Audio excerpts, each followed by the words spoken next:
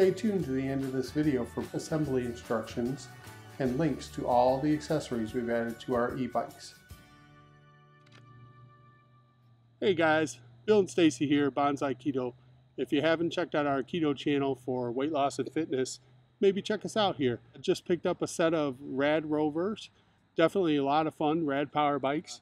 First accessory we bought, Team Obsidian helmets. Very important to have your helmet. We've got a lot of accessories to the bike. We'll go over that later in the video. We are at Kensington Metro Park here in central Michigan, about 20 minutes north of Ann Arbor. They have, gosh, I'd say over 10 miles of paved trail here. So we are going to go for a nice bike ride today, talk about some of the features of the bikes themselves, and just have a lot of fun. Part of our keto journey is not only losing weight and getting in better shape, the best thing we could think of was bike riding. Unfortunately, at 51 years old, I've had both ankles broken, I've got a bad knee, and I got a kind of messed up hip and I'm overweight. I'm just not in the greatest shape. So when we pulled our regular old bikes out after 15 years sitting in the garage and I aired them up and surprisingly they still worked, man, I couldn't keep up for maybe 10 minutes with you. Now these bikes give you that assistance with one through five levels of assistance. And I'll tell you what, even in one and two, it makes me feel like Superman. I can keep up all day long with, with everybody out there on the trails. So enough talking, let's get out on the trail and have some fun with these bikes. Absolutely. Let's go. Let's go. beautiful, beautiful park. Beautiful day. Beautiful day. Beautiful bike ride. Beautiful bike ride. It's a rad ride. It's an electric ride.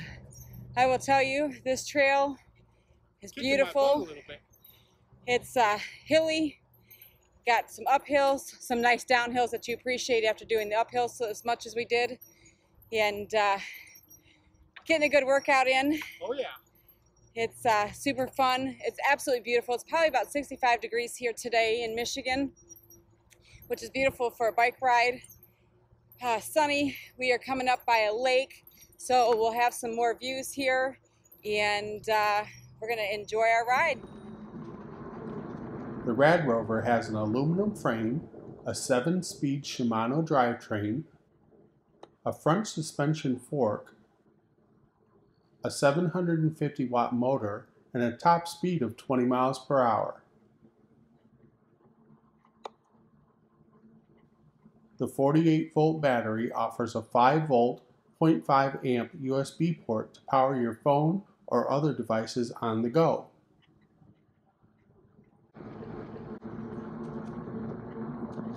Rad states the range to be 25 to 45 miles depending on the terrain which we found to be pretty accurate.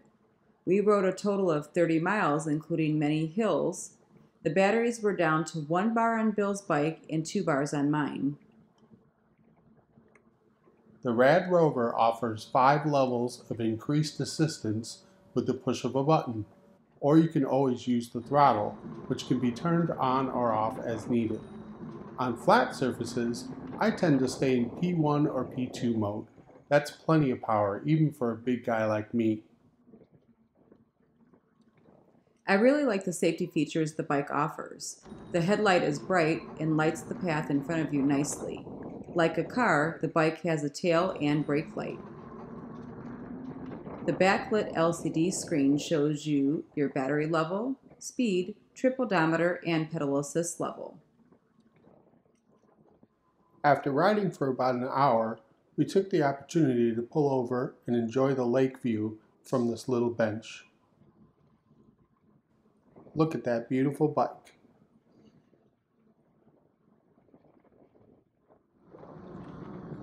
Yeah! These e-bikes allowed us to have fun while getting a great workout as part of our fitness and keto journey. We rode for almost two hours and had a blast. We can't wait to get back out there and ride again.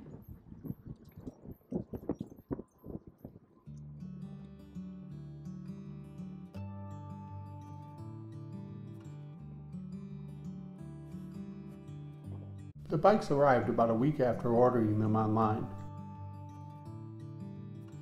The first thing out of the box was the accessories the charger, the battery, the headlights, the pedals, the manual, and a basic toolkit. I plugged the battery in first thing, knowing it would take a while to charge. Then I pulled the front tire out of the box. Man, this thing is massive. Even if your box has some damage, don't worry, chances are it's okay. The bike is actually packaged pretty well inside with plenty of padding. I used my cutting pliers to remove the multiple plastic zip ties. Just be careful not to cut any of your wires. Now the bike is ready for assembly. There are four bolts and lock washers that hold the front handlebars on. Position the bars in place and tighten the nuts with the provided tools.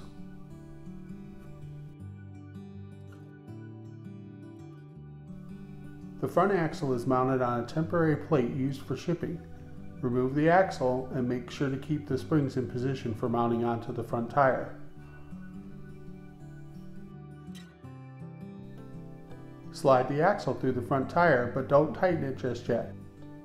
I don't have a bike stand, so I found turning the bike over helped me mount the front tire to the forks.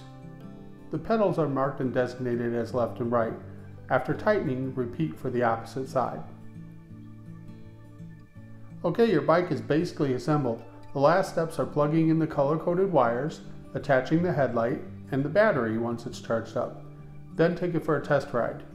Be prepared to giggle like a little kid, because that's what I did.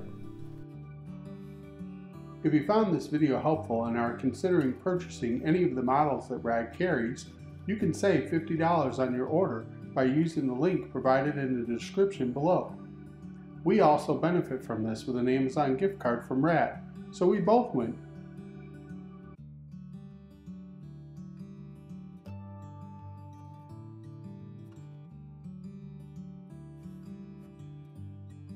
All the accessories we've added to our bikes have come from Amazon. They're linked below in the description for reference. Our very first accessory, and what we felt was the most important, were helmets. We chose the Team Obsidian Airflow as they are super comfortable, have plenty of vents to keep your head cool while riding, and not to mention hundreds of great 5-star reviews on Amazon. We highly recommend you invest in a good helmet like the Team Obsidian Airflow.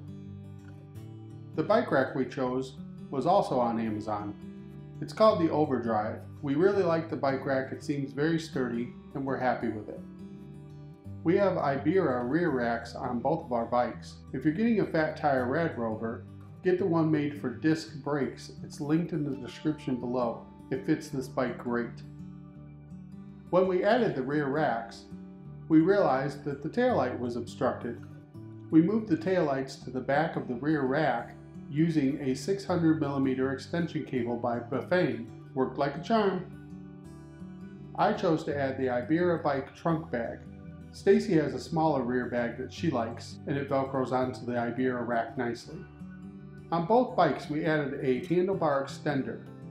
This allows us to mount extra things to the front of the bike like our water bottle holders, which we love, our super sturdy aluminum GoPro mounts, and our bicycle phone mounts. We also have bike frame storage bags that include touchscreen top panels for a phone and a bottom storage area that we keep keys and wallets in. At 6 foot 6, I'm taller than most people, so I ordered this extender to raise my handlebars up. This bike mirror by Mirrycle fits right in the end of the handlebar. We really like them. We didn't use the original bike seats very long. We switched to our Trek bike seats that we owned, and then I ordered up Cloud 9 seats for our bikes. So that's currently what we'll be using. The only accessory I might still add down the road would be fenders. Let us know in the comments below what you think of e-bikes. Do you own one? Are you considering one? What accessories would you consider essential? Thanks for watching. We hope you enjoyed our review of these bikes. They're really a lot of fun. Don't forget too, in the description below, you'll find links to all the products we've added to our bikes on Amazon, as well as the $50 off any RAD bike purchase. Thanks for watching. Now get out there and ride.